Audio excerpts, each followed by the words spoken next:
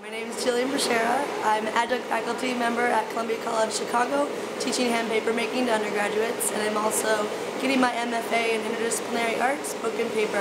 Currently, we have some cotton blotters that are recycled from our studio use that I'm beating down to make cotton for our students to use in the paper making studio. We'll be showing you a Hollander beater that was produced or constructed by David Reina, who I believe is local to Brooklyn, New York guys, my name is Heather Schröering, I'm the editor-in-chief, and this is Paper Making 1 at Columbia. And today I'm going to teach you how to make paper. So basically, when you start, you need a flat surface.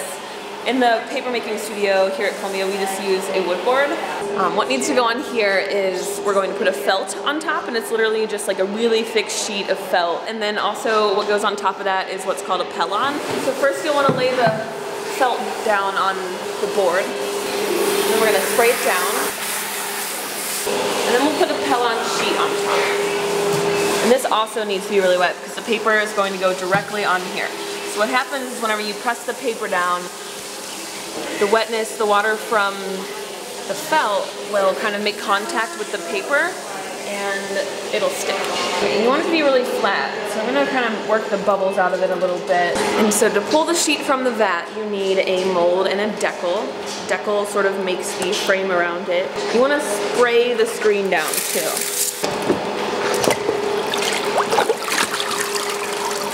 Agitate it just a little bit, and then I'm going to let it drain just a bit. So pull this up. You don't want it to be too wet when you press it down on the Pellon because it'll get, um, it'll start to look, it might just literally slide off the screen. But you also don't want it to be too dry here. So I'm gonna press it down on the Pellon. What I'm going to do is I'm going to go in one swift motion really hard to squeeze any excess water out of it and make sure that it really sticks down to the Pellon and the felt. Then I'm going to pull up the other direction.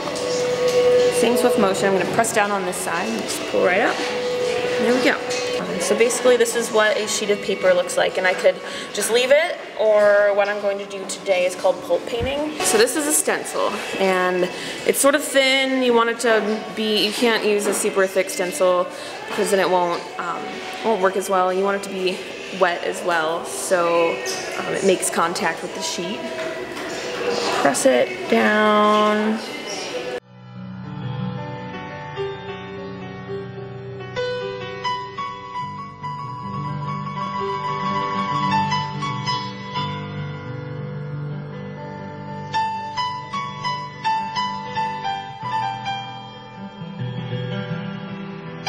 So that's how you make paper and that's how you paint on paper and this is a really awesome class and I should really encourage everyone to take it.